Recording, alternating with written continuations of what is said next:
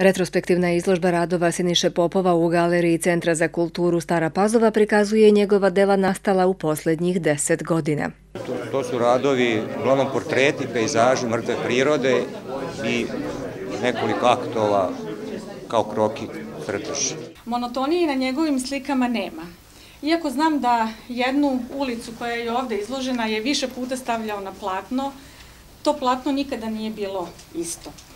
Njegov slikarski rukopis je prepoznatljiv i tako prepoznatljiv uspevao je da osvoji brojna priznanja, ne samo ovde u našoj opštini, počevo od plakete Svetlost, do brojnih pokrajinskih priznanja, a među nagrađenim slikama su i ovde dve karlovački pejzaži, za koje se Niša takođe nagrađen pokrajinskim nagradama. Siniša Popov rodom iz Vojke je akademski slikar, član Udruženja likovnih umetnika Stare Pazove, a odnedavno i Udruženja likovnih umetnika Vojvodine. Radi kao likovni pedagog u Staroj Pazovi.